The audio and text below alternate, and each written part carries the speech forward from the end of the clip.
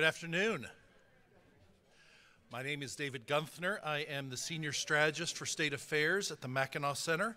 We thank all of you for joining us today and welcome you to today's program, uh, Tax Cuts, Regulatory Freedom, and More in Washington and the 50 States, a conversation with Grover Norquist. Depending on your perspective, Grover Norquist is either the Darth Vader of conservative politics and the dark wizard of the right, or he's a principled voice for smaller government and more freedom for individuals. The longtime president and Amer- Americans for Tax Reform, oh, well, that didn't work. It was a better idea. Um, the longtime president of Americans for Tax Reform has been a major political player in Washington, D.C., and all across the nation for decades. At Norquist's urging, in 2017, the United States passed the first major federal tax cut in decades, flattening the code and lowering taxes for virtually everyone. He has also been key in arguing for lower regulatory burden, something the Trump administration has largely been taking up. On the other hand, the federal government has continued to increase spending, and the president has urged heavy restrictions on vaping. The Mackinac Center is pleased to host a Q&A with Grover Norquist to discuss these issues and more. Grover Norquist is president of Americans for Tax Reform, a taxpayer advocacy group he founded in 1985 at the request of President Ronald Reagan. ATR works to limit the size and cost of government and opposes higher taxes at the federal, state, and local levels and supports tax reform that moves toward taxing consumed income one time at one rate. ATR organizes the Taxpayer Protection Pledge, which asks all candidates for federal and state office to commit themselves to writing to the American people to oppose all net tax increases. And there is a new signer of the pledge as of this morning. In the 115th Congress, 212 House members and 45 senators have taken the pledge. Beyond Grover's policy leadership on a wide range of issues, he has written four books. He holds an MBA and a BA in economics, both from Harvard University. He lives in D.C. with his wife Samah and two daughters.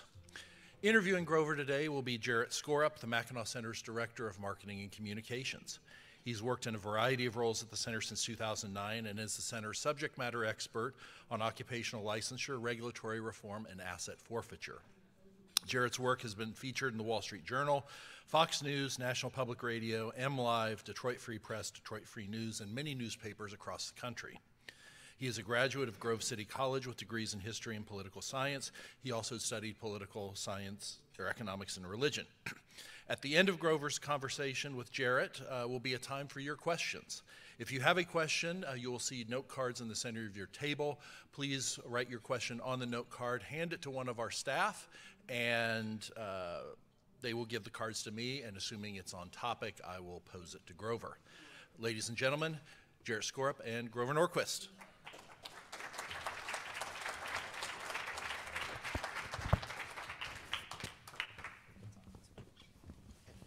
Thank you. Thanks for coming. Thank you, David, for that introduction. so, when I was a, when I was a college student, I, I got the privilege of I was a research assistant for a professor a guy named Dr. Paul Kengor, who is a Reagan biographer, so I got to research that a lot. And uh, I know, Grover, you got your start, um, or maybe not your full start, but became more prominent during the Reagan administration. And Reagan used to tell a story um, about uh, that he liked to, to, show. Reagan was kind of eternally an, an optimist.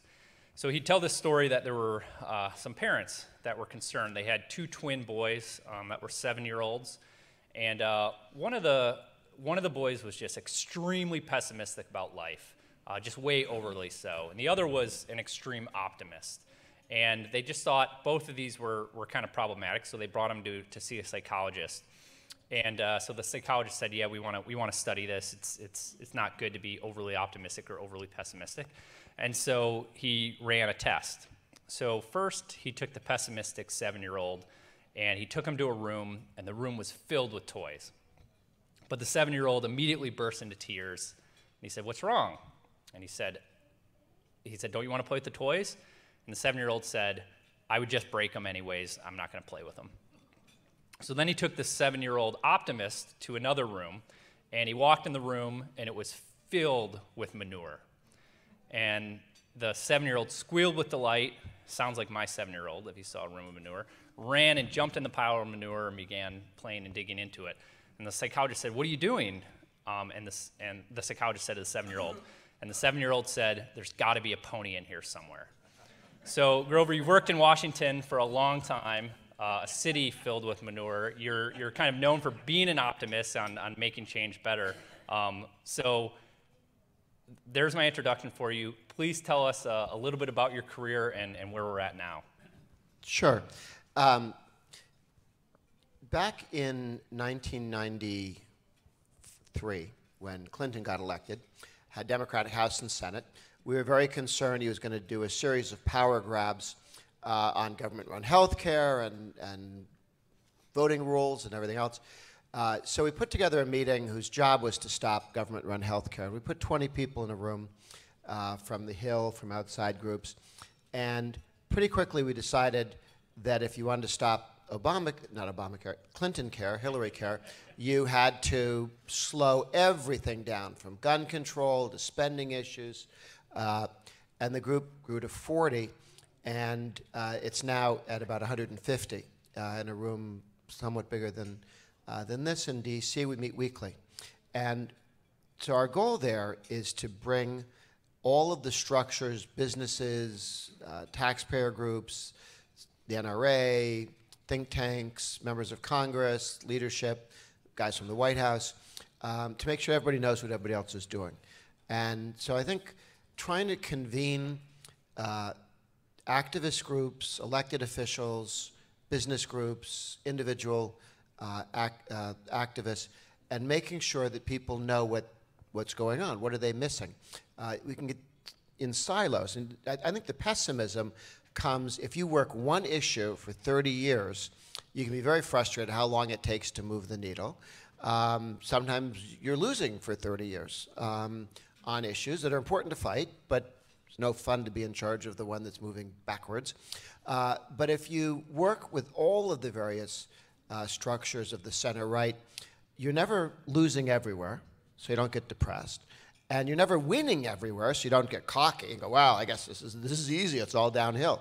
Uh, in the dozens of issues, and again, it, we'll have uh, 30 people present for three minutes each for an hour and a half meeting.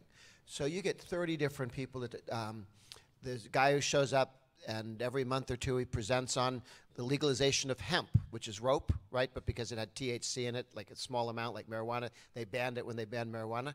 And there's a movement that's very successful legalizing hemp, rope. Uh, it's not a drug.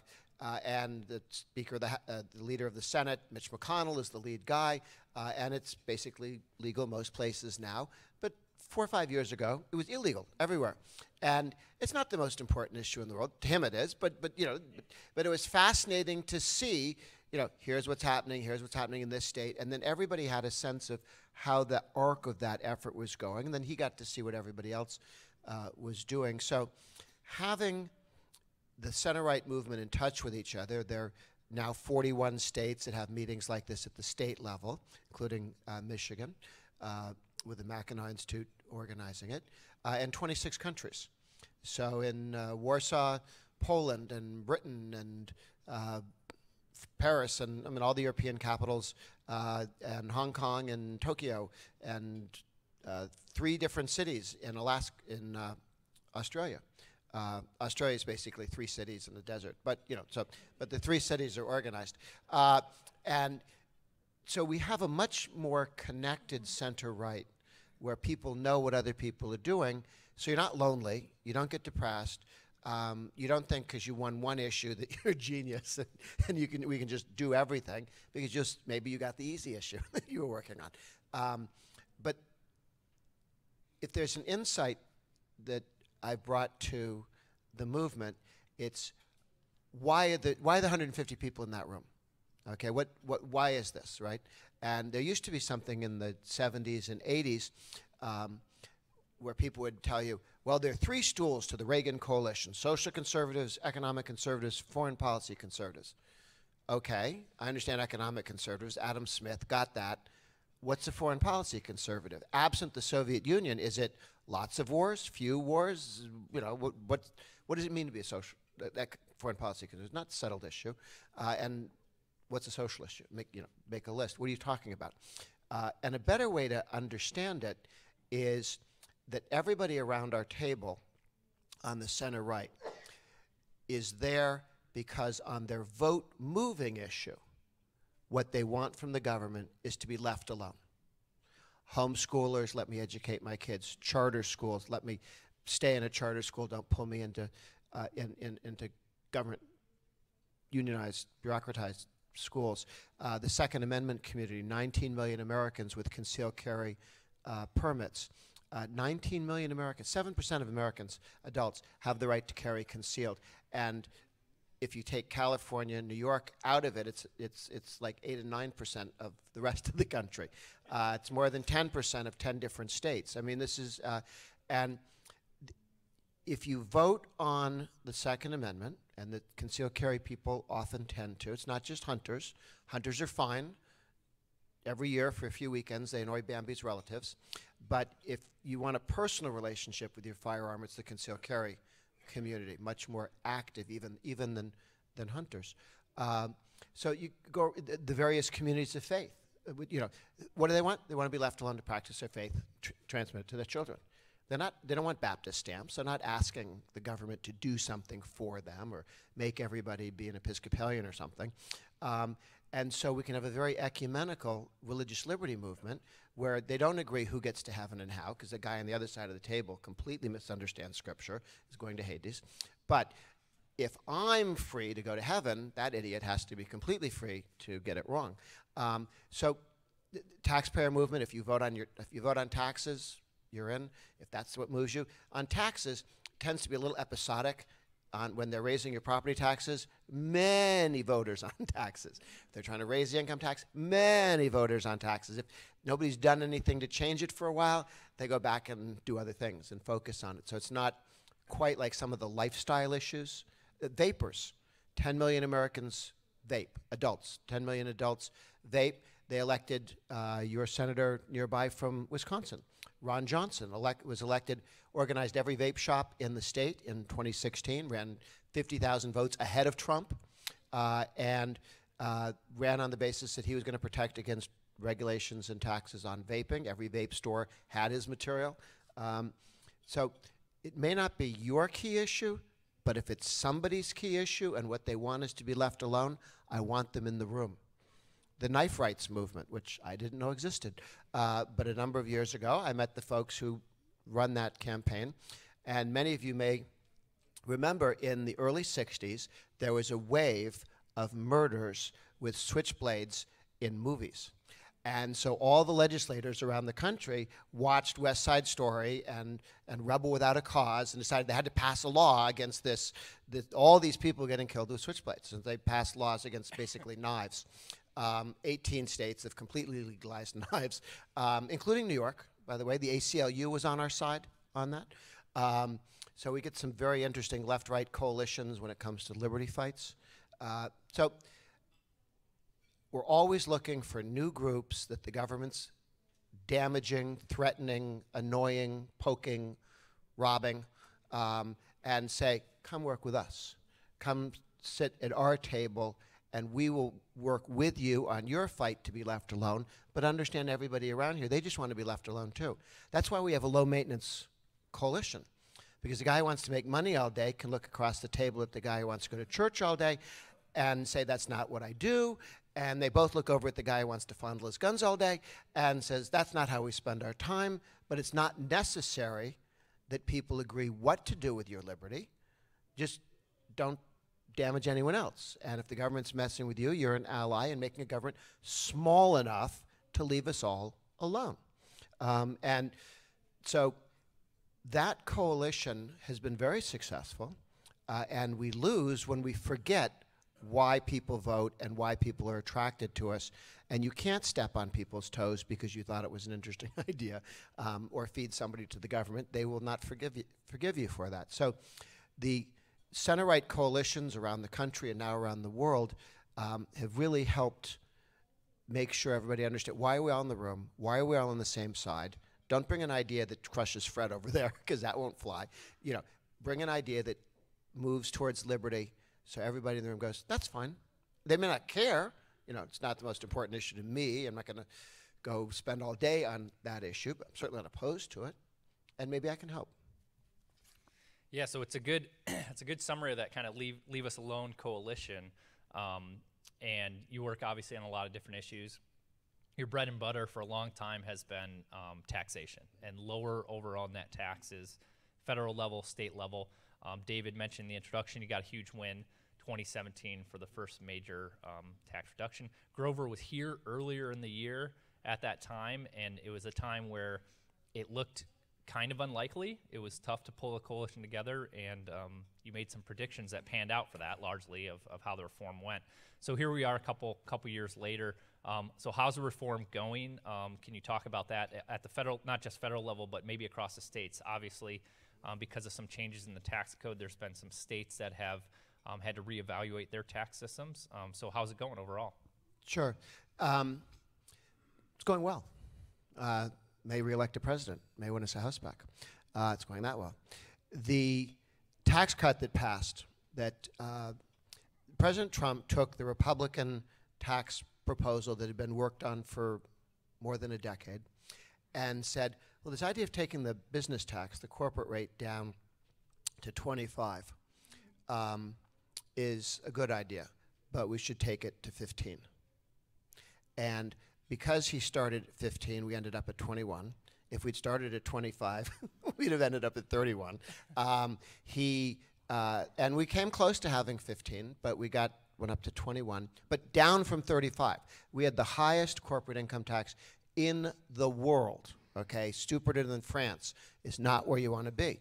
Um, everybody else in the world saw that we'd successfully in the United States dropped the corporate rate um, and down to, to 35 from 50 down to 35 and they said that's great and they went down towards the low 20s we're at 35 and we never caught up with them and, and the democrats would always yeah we should do something we should maybe go to 32 33 um, and if you were to give us a trillion dollar net tax increase um, is the second half of that sentence from the democrats uh, and so we got to down to 21 and we got individual rates uh, uh, median income, family of four, $70,000 uh, is, is the median for that group. Um, got tax cut about $2,000. Single parent, $45,000, got a $1,300 tax cut. Um, very good for people with children, very good for people who invest and save and, and work. Um, but the number that really is interesting in terms of what moved and I think swings the election is the median income for everybody.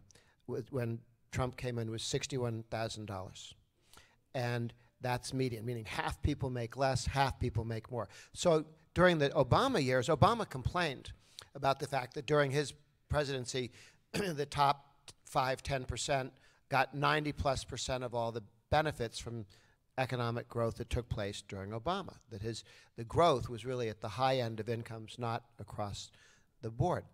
Um, and so giving a billion dollars to Bill Gates doesn't change that $61,000 median at all. Bill Gates is one guy, right? Um, what happened is in three years, 61,000 went to um, 65,000, up $4,000. The median income in the country went up $4,000. In the previous 16 years, all of Obama, all of Bush, it went up $1,000. So $1,000. Why were people grumpy going into 16? A lot of people had not seen real movement in their income. They'd seen cost of living go up, but not real movement in their income. And $4,000. That's why you have a lot of, of cheerful. This is why this is why impeachment why impeachment? Because they don't want to talk about the economy, because they don't want to talk about jobs, because they don't want to talk about growth in income, growth in wages, uh, growth in the median income, not just higher income. Um, and so that's driven by the tremendous progress we had on taking the corporate rate down, which got a lot more investment into the United States.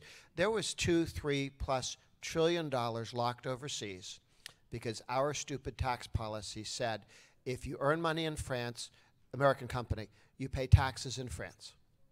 And then if you're stupid enough to bring it back to the United States and invest it here, we tax it again. And what Trump and the Republicans said is, you know, when you work in, you build something in France or you sell something in France, you make money, you pay the French taxes because it's France, and then you want to bring the money back? No penalty, just bring it back.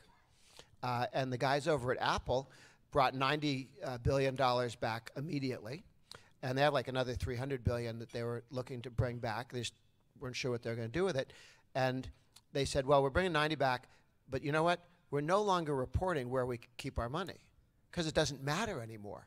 It doesn't matter if it's in the Bank of London or in Wichita because it's available to be spent in the United States anytime we want." So we're not, we're not, we don't report something that doesn't matter. So it's a little hard to get as much credit for all the good stuff we're doing because nobody has to keep track of where they've got the money um, if they're just keeping it in the bank. Um, but it's being invested in the United States. And instead of companies leaving the United States, remember um, Burger King got bought by the Canadian Brazilian consortium? Same Burger King, same burgers, same people, same everything, except it's a Canadian housed company, not an American company, taxes were less, significantly less. Warren Buffett organized that, that deal. Um, the guy thinks your taxes should be raised, but he does all of his investing based on tax policy. Um, so we aren't losing companies anymore. Matter of fact, I had an interesting conversation with the Prince of Liechtenstein, where they have like a 4% corporate tax. He said, if you guys get, if you actually take that rate to 15, investors will move out of Liechtenstein into the United States, even though we're at four and you're at, you go to 15, because that's not enough. We'll lose people. He's losing some at 21, uh, but we do need to get to 15 as the president wants after the next election. So uh, one of the issues on the tax policy that's interested to me is obviously um, a lot of what you're working on is net tax cuts.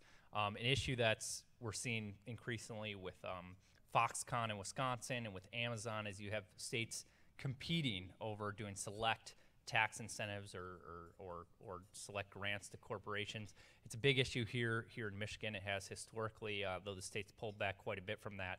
Um, so, what's your take on that? I mean, as a conservative, obviously we like lower taxes, and that is lower taxes, um, but there's a selectivity to it. Um, what's the overall take? Well, the challenge is when you say to Amazon, if you put something in New York, we will cut your taxes, you will have low taxes for 10 or 15 years. Um, why not do that for the businesses in New York, for the small businesses that are already there? Why not have everybody have lower taxes? You don't get the ribbon cutting for that.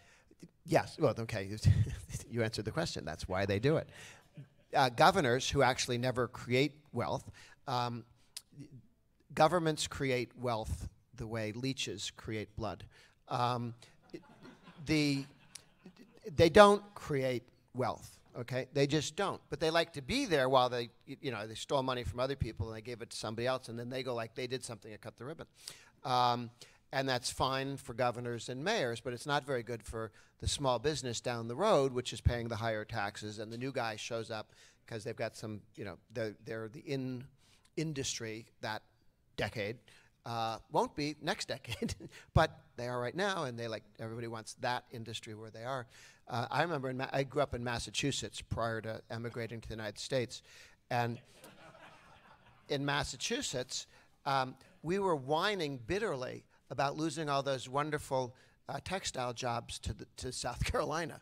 Um, anyway, uh, but we were losing them because our taxes were ridiculous. Uh, so I think you're better off as a state, be the low tax state. People move to the states with no income tax. There are nine of them. Um, flat taxes, single rate taxes. Again, Massachusetts, we have a single rate tax, 5%. Okay, you'd think left-wing Massachusetts, the income tax would be higher. No, because it's a single rate tax. And if you have a single rate tax, and a politician says they've got a really good idea, and you're all paying for it, people go, well, then we're all listening. Explain the really good idea slowly. Um, and really good ideas um, are fewer if we're all paying for it. That's why Obama and Clinton would go, I'm only going to raise taxes on the top 2%. They said and lied. They raised taxes on everybody. But to get elected, they said, I'm going to raise taxes on the top 2%. So the rest of you may want to step outside. This isn't going to be pleasant. You might be a little loud in here while I'm getting the money that we need, but it doesn't affect you, okay? Um, well, then more ideas sound pretty good if somebody else is paying for it. Uh, at the end of the day, though, this is, uh, when our friends um, Warren and Sanders and all these other Democrats talk about massive government programs and Medicare for all and so on, and they say we want to be like Europe. They haven't finished the paragraph. Be like Europe, big social welfare spending. Be like Europe, who pays for that? Taxes on rich people in Europe are not significantly higher than America, not even higher in general.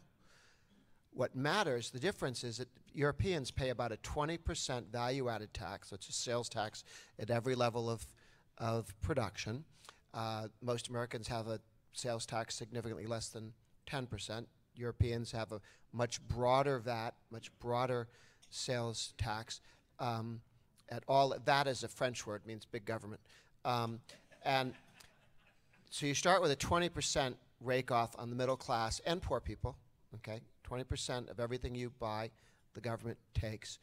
And the income tax on the median income person in the United States is significantly lower than the, how they, than the tax on the median income in Sweden or France or Germany or Belgium or Norway, which has a lot lovely gas, and they still screw everybody with income taxes. Um, so Europe gouges the middle class with income rates 10 and 20 percent higher than American middle income people. They also tax high income people fairly heavily, and they have a 20 percent VAT. That's how they pay for it. It's not paid for by rich people in Europe. All the smart people left Europe a long time ago, came here. Um, and, you know, everybody who could play tennis left Sweden when they decided to have 104% income tax rate for a couple of years. The lady who wrote Pippi Longstockings, right? You know, she stayed. She's the only person who stayed in Sweden after they had 104% income tax rate for a while. Uh, they brought it down. Sweden actually is moving radically towards a free market position. They have full school choice in Sweden full school choice. No death tax. No wealth tax. Why no wealth tax? They tried one. It's too stupid for words, right? There were 12 countries in Europe that had a wealth tax like Elizabeth Warren wants. Only three still do. And one of them's France, so don't. So uh, you, we, we obviously we, we talk a lot about the tax reform. Um, we talk about some other issues going on. So with the Trump administration as a whole, what are some other areas um, you think he's doing a good job on? And then also, what are some areas you think he's fallen short on? What's he not doing well? Sure. Um, he has changed the world with lower taxes. Very helpful, positive. The deregulation is as big a deal. Uh, we have deregulated, and we now have a much stronger energy and fracking. Remember, the left wanted to shut down fracking. Had, had Hillary won, she would have shut down fracking, which allows us not to care when half of Saudi Arabia blows up for a week or something. And it just didn't even change the markets or anything. Iran goes off grid, Venezuela goes off grid. This would have had us lined up, uh, you know, in gas lines for weeks.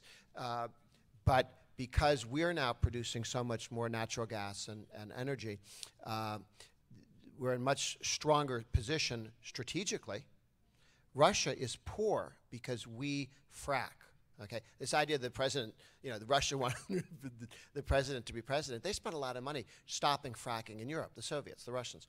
Um, and because we frack, prices internationally are lower, and 45% of the Soviet budget's oil and natural gas. So every time we drop that, that price doesn't go up, they can't afford to do all the stupid, destructive things that they'd like to do. Um, they would have loved to have had Hillary Clinton and the anti-fracking crowd uh, in, in the White House. Uh, the judges, the judges, the judges.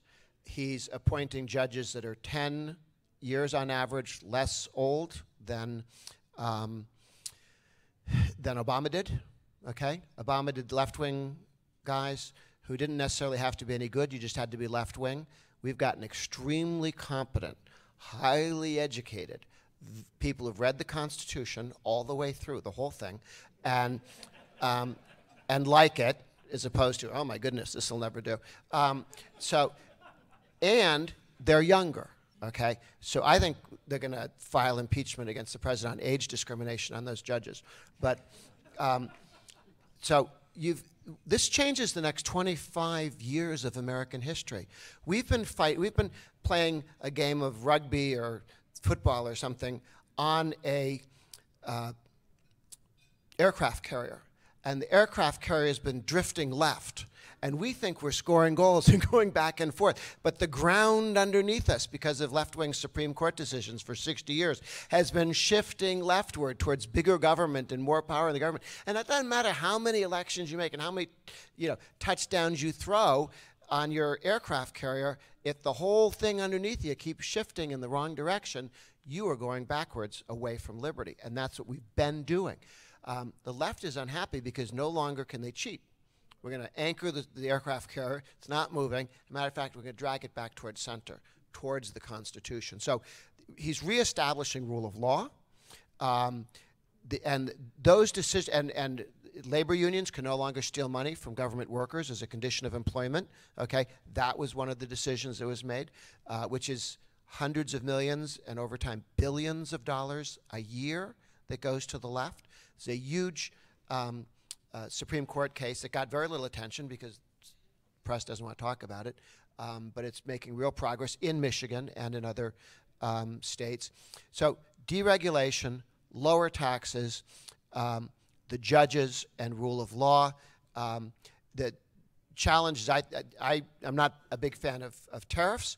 Um, if we, I hope we can get the Chinese to be more honest with us and stop stealing our intellectual property. I don't know that tariffs are the right tool for that, but if it works, I'll be very happy. Um, and but right now it's expensive to have tariffs. Um, uh, expensive the American economy. So um, got a better deal with Canada. Got a very good uh, deal set forward with uh, Japan. They are moving for more serious trade agreements around the uh, country. He hasn't gotten us any worse. Um, so I think reasonably cheerful in general, and he's going to do the right thing on vaping. They got him off balance a little bit, cheated. They went to his wife, um, and uh, uh, vaping's the 10 million Americans who vape instead of smoking cigarettes. They feel good about themselves. They will put 500 people into a state legislature if you try and tax or regulate them.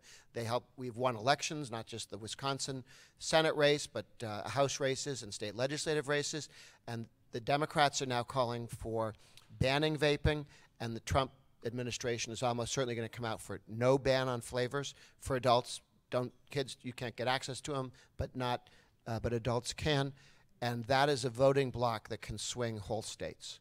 Um, and it's a freedom. Pe- people should be able to um, vape water vapor instead of smoke cigarettes.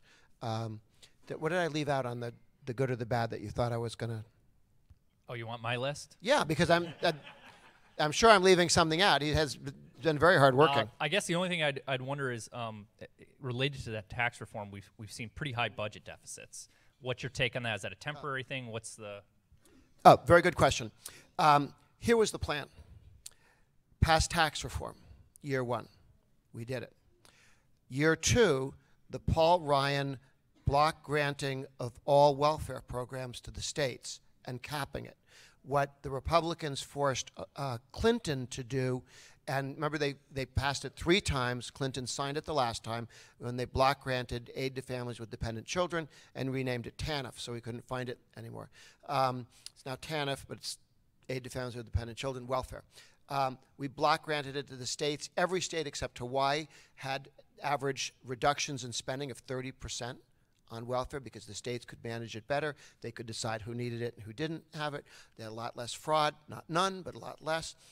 Um, the plan that was put forward and we're ready to go with would block grant Medicaid and either eliminate Obamacare or block grant whatever you wanted to call Obamacare, food stamps, and these other means tested welfare programs. If you get the money because you're you, because you're poor, not because you did something like pay into Social Security or Medicare, those were going to be block granted. And then some idiot lost a Senate seat in Alabama. And we lost our margin to be able to do this because you had John McCain, who might decide it would get the giggles by screwing us, and so he didn't couldn't count on that vote. Uh, the lady in Alaska, who I've never figured out, um, Murkowski. No, I'm in her name. I'm just not. I can't figure out what makes her move. Um, and and you worry about Maine. Maine always wants to be with us. She's a serious, real Republican. She actually is a Republican, unlike Alaska. Dad was a Republican, Alaska wasn't. Um, and um, but if you didn't have that Alabama vote, you weren't guaranteed that you could get to 50 or 51, and so we didn't get to do the entitlement reform.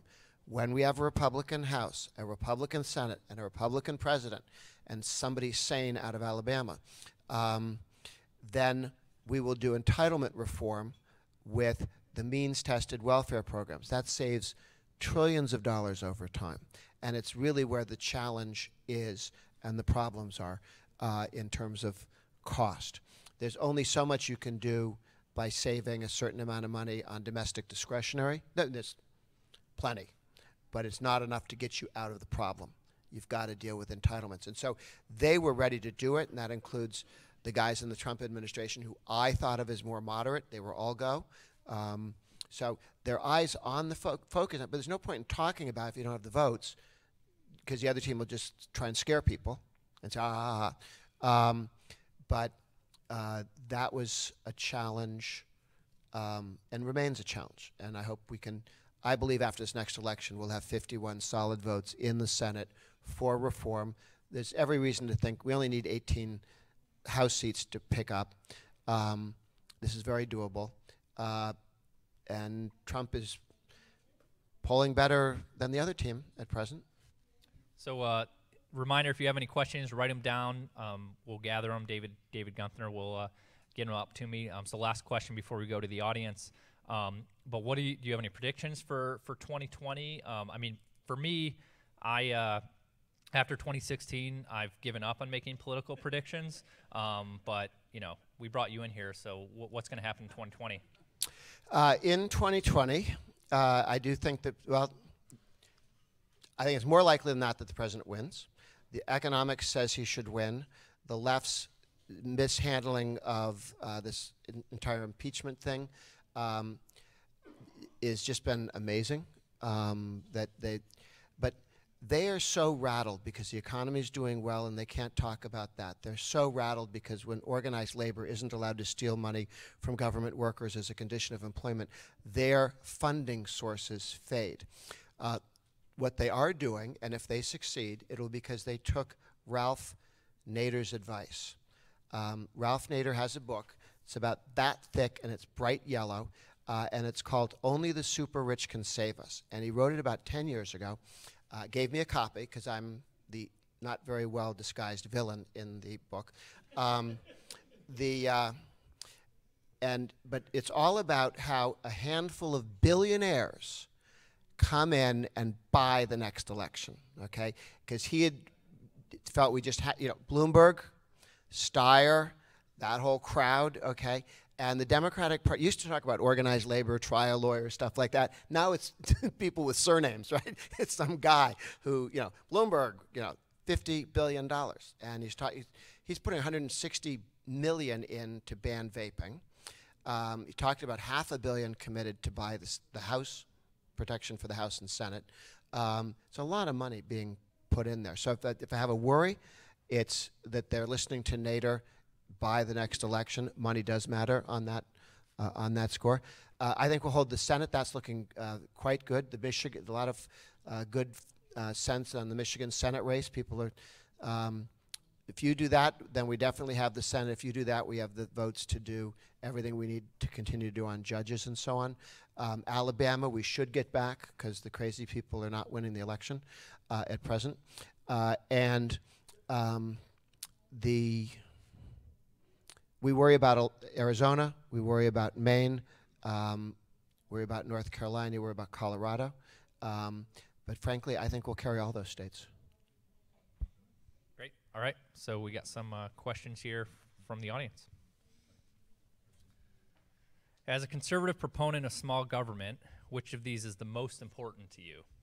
Low taxes, low spending, or lower deficits? Okay. The deficit is an unimportant and uninteresting number that is the difference between two important and interesting numbers.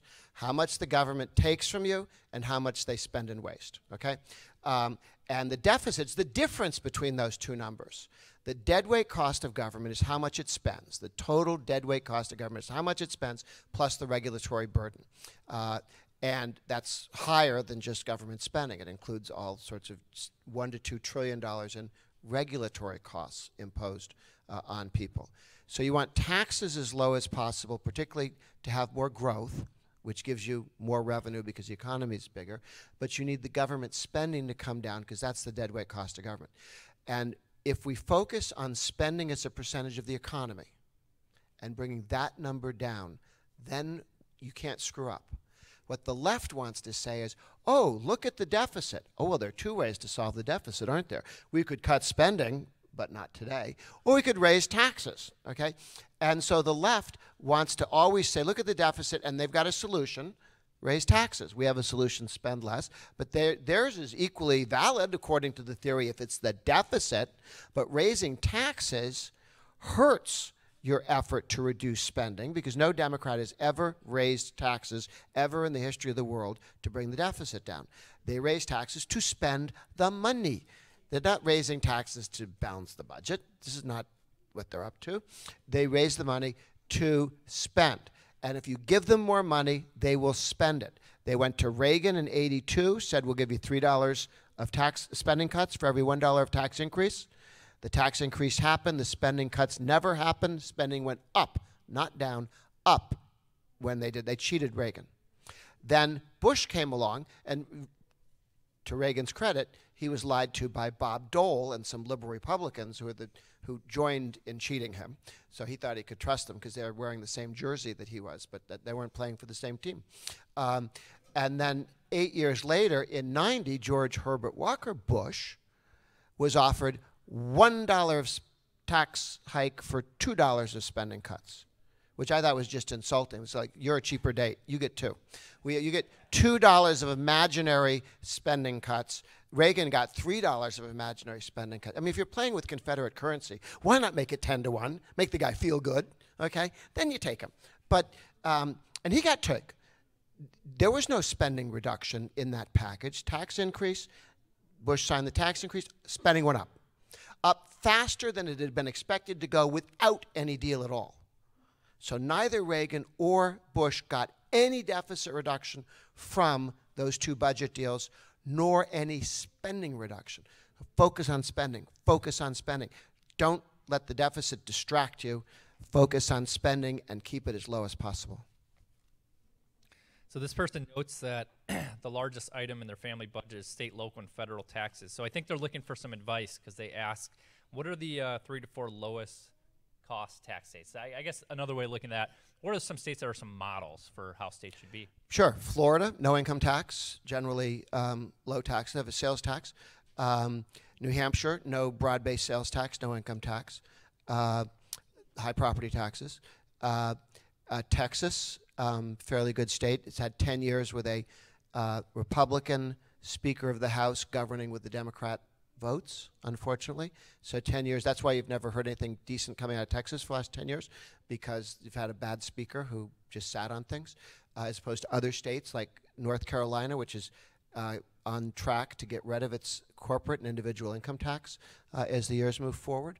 Uh, you want to move to a state that's cutting taxes, not just a state that has low taxes. States that have low taxes that are raising taxes, by the time you get there, they're going to be high tax states. So go with the states that are reducing taxes um, or that have a flat rate by constitution income tax because you're safer.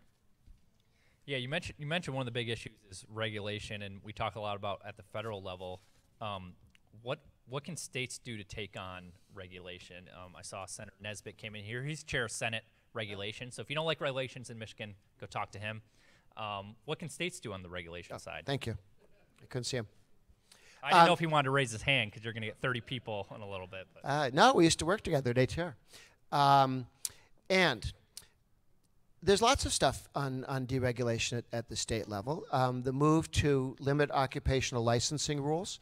Uh, uh, Arizona has a law that I strongly would, would recommend you take a look at, um, and that is if you have a license to do something in any of the other 49 states, come to uh, Arizona and your license, we recognize your license.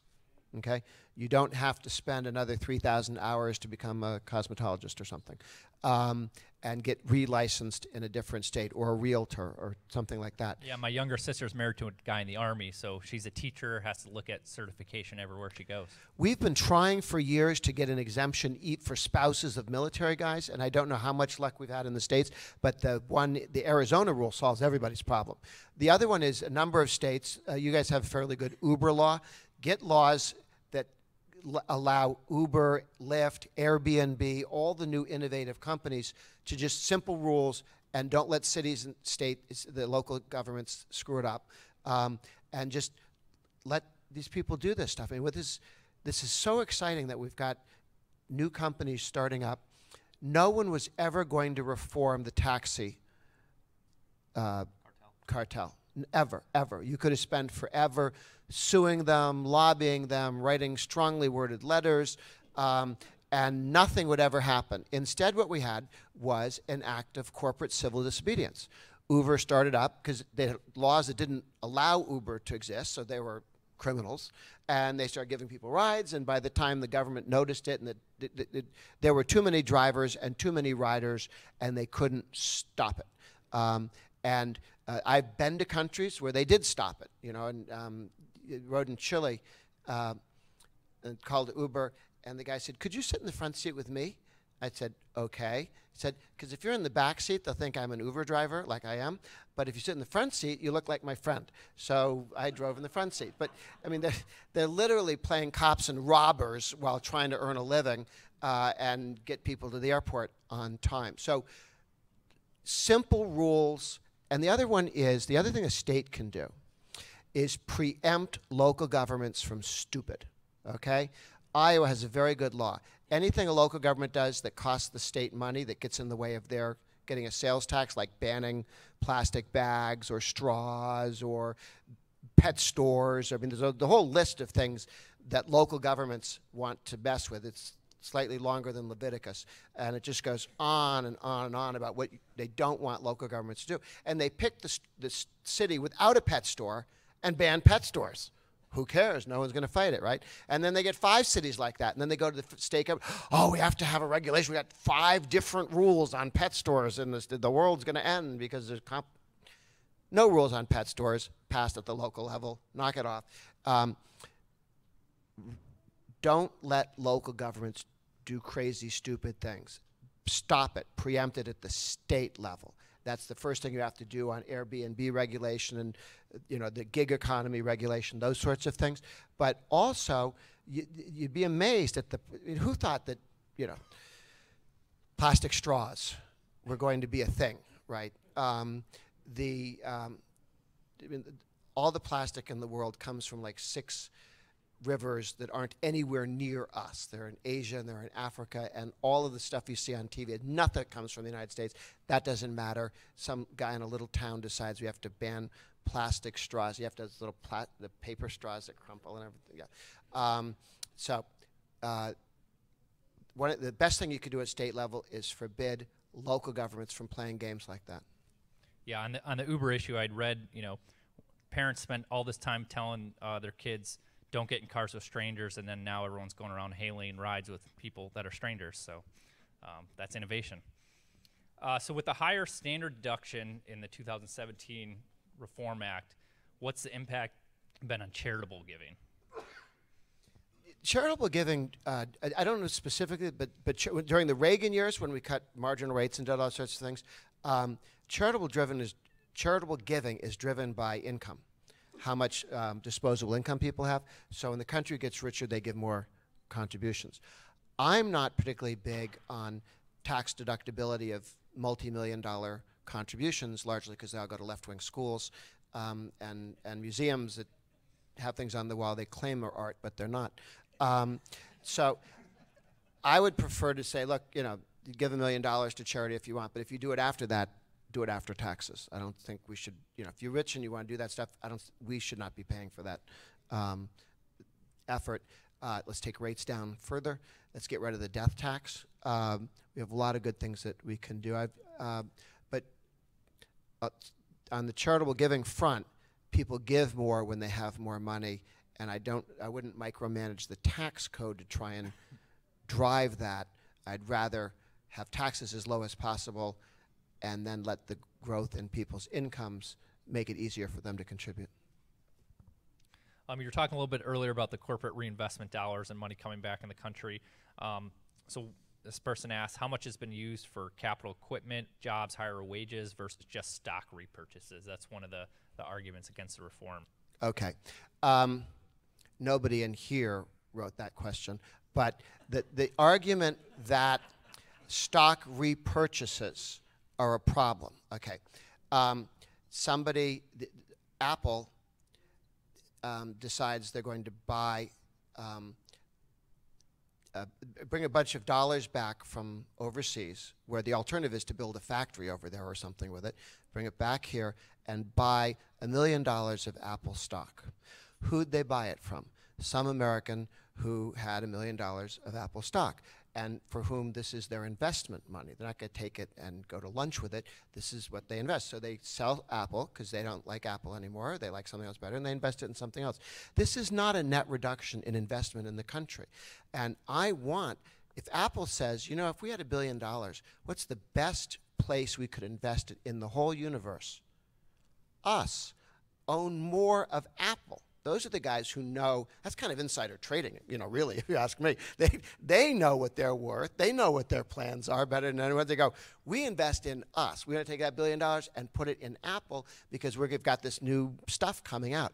Um, so this argument that if you buy back your stock, what they're doing is you're investing in themselves. The money doesn't go away because you um, uh, you bought the stock from somebody who owned it, uh, and that person invests as well. So I very much like buybacks. I want to invest in a company that says if we had a billion dollars, we'd invest it here, not someplace else.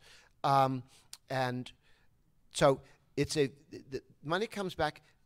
Our job is not to micromanage. I mean, how individuals or companies spend their money. That's not our business. It's not the government's business. And the nerve of the Democrats to go, oh, well, yes, you should bring it back here, and now we'll spend it for you.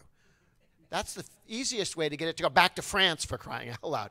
I think we'll play over there, not here, if you guys are going to tell us how to invest our money. So I, I realize that's the left's. uh, They say it so often that people think it makes some sort of sense. You know, they, they buy back their stock. That that doesn't sound like build factory, but um, you're, if you're investing in your own company, that's a good thing to do, and you want all of that money to be allocated, all that capital to be allocated to the highest and best use, and no government knows the answer to that question. Uh, this is kind of interesting, unique question. So, um, would you support keeping congressmen and senators at home rather than in Washington D.C.? I, I suppose the idea being you can vote online, you can do a lot of stuff online. Could they just do that from uh, from an office back home? I know it would affect your housing prices because you live in D.C., Grover. But I do live in D.C. Yes, um, the no, we need to get the bureaucracy down significantly. Take those housing prices down. Uh, it's not just the congressmen and senators. Uh, I I don't know uh, how it would. I mean, legally you could, right? I mean, the Congress could set up its own rules.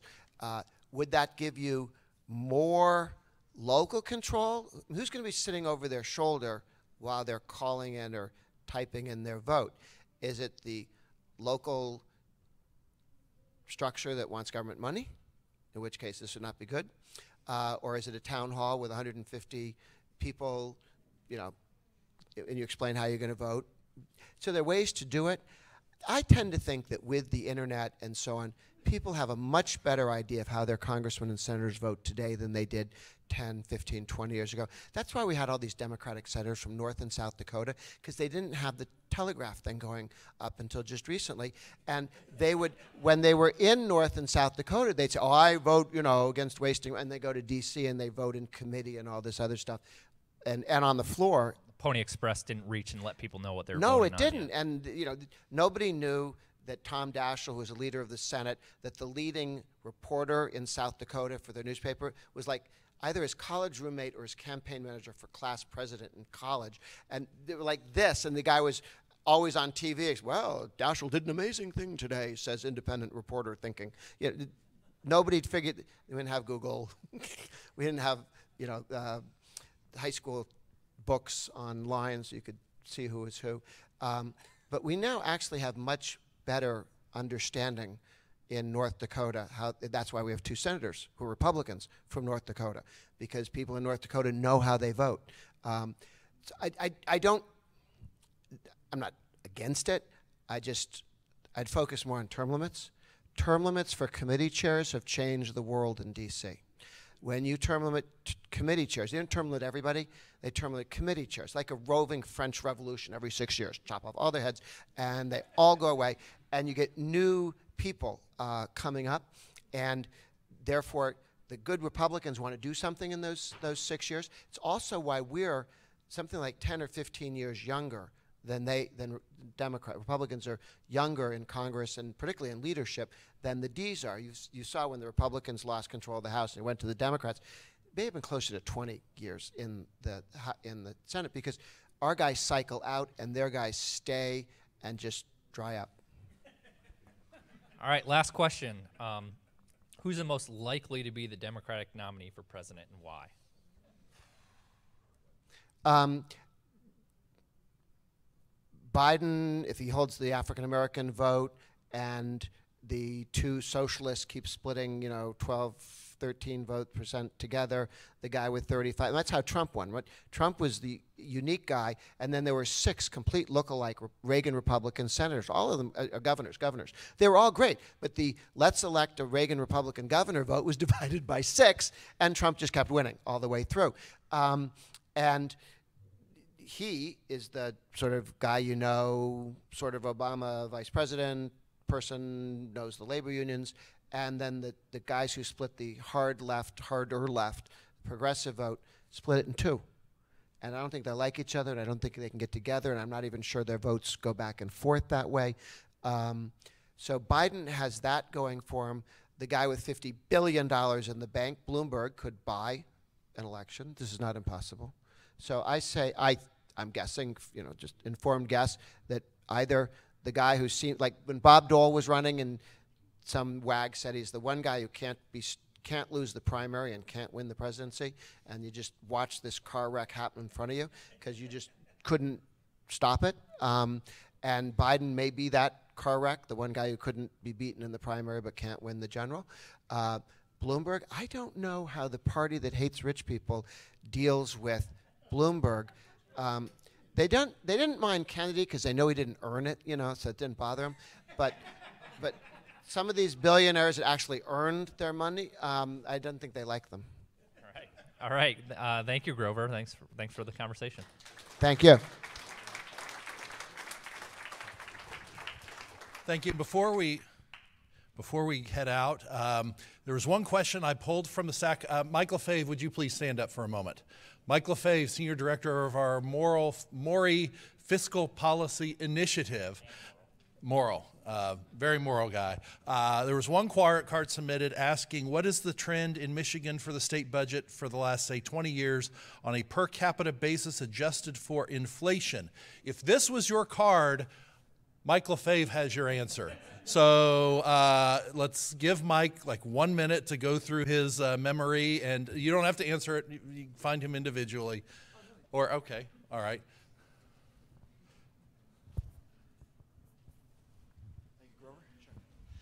Well, just looking at some of the numbers this morning, though, uh, in nominal terms, not real terms, and the budget's definitely been up and has managed to go up in $10 billion increments pretty fast. In fact, if the budget goes up, uh, gross spending 2% next year, it'll be our first $60 billion budget.